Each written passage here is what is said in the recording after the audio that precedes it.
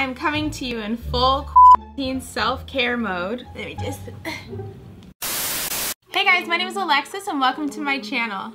As a protective hairstyle, I put these braids in a couple days ago, but I normally wash my hair every four days or so. So my head is starting to get a bit itchy and slightly flaky and as you can see I have quite a bit of frizz here but I'm trying to make this hairstyle last as long as I can because it took me five hours. Today I'm going to attempt to wash my box braids, praying that they turn out okay and better than what they look like now. But I guess if they don't, it's no big deal because we're all stuck at home. First step, water bottle. And what we're going to do is we're gonna take some shampoo. Mine is the Shea Moisture Lush and Length shampoo. That's just what I have right now and I'm almost out. Jeez.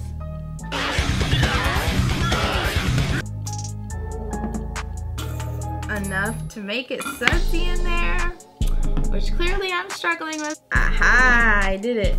Okay, that should be funny. Yeah. Okay, so I don't know if you guys can see how much is in there. It's not much, but I know that it'll be enough to suds up in there and I think that's all that matters. So I'm just gonna take this and, ooh, ooh, maybe not shake it that hard, sorry.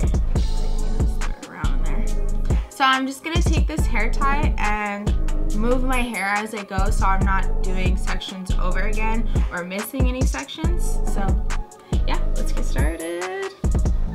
Slightly nervous, but no reason to be, I guess. I'm gonna start here in the front, and I'm just going directly onto my scalp. Probably shouldn't be doing it like that. okay, here is my microfiber towel, which I'm gonna need because it's gonna get all over the place. But it probably would help if I didn't tip forward. I'm just gonna start rubbing as I go. Kind of like if I were just shampooing my hair in the shower, I guess. Oh man, that feels good.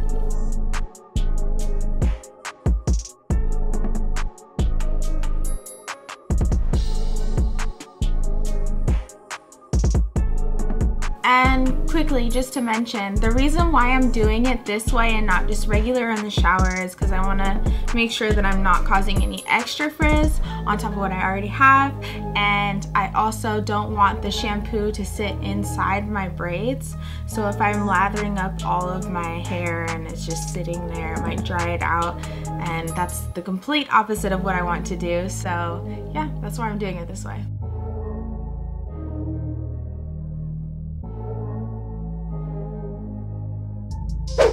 So I just finished half of my head and feels so good. And I'm about to finish this other half the same way that I just did the first.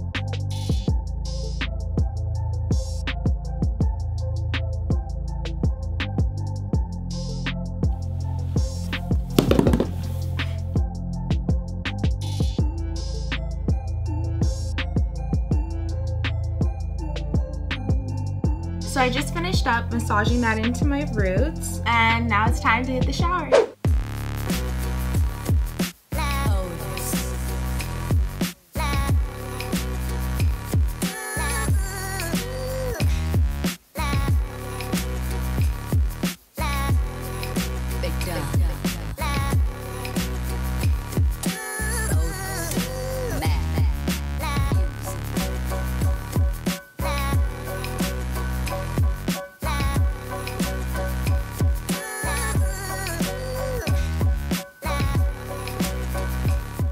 So I just got out of the shower and I put this microfiber towel on my head to make sure that it wasn't dripping all over my back, but let's take this out. So this is what my hair is looking like. It is wet, wet, but before I dry it, I need to put some product in it.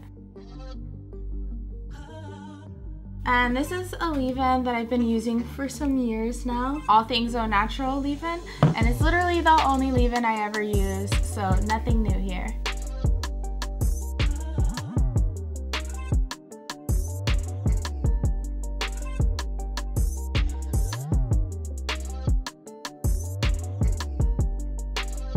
Also going to be using a little bit of oil on my scalp to make sure that it doesn't get dry and also to give myself a little bit of a scalp massage for extra hair growth.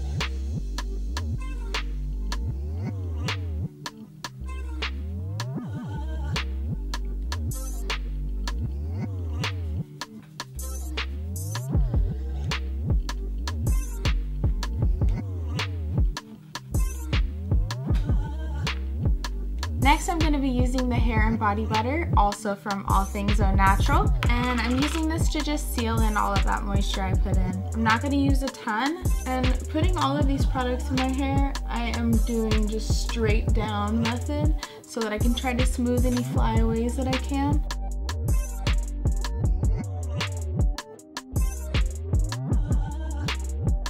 Okay, last but not least, I'm gonna be using this edge control on my baby hairs. Let's get this hair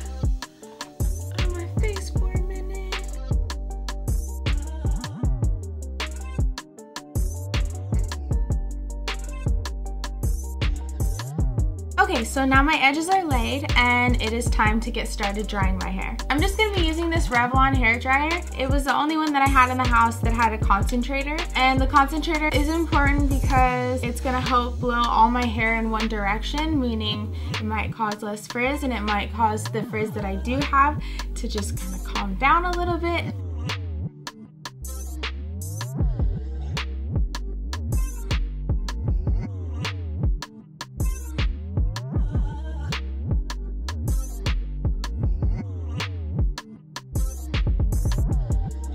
Okay, so I would say my hair is about 50% dry, if not more. So at this point, I'm just gonna put this hair scarf over my head to try to lay some of those flyaways down.